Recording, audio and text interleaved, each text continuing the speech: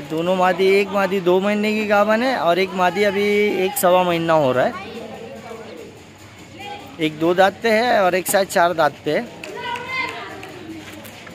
दोनों पहले ही पहला खेप है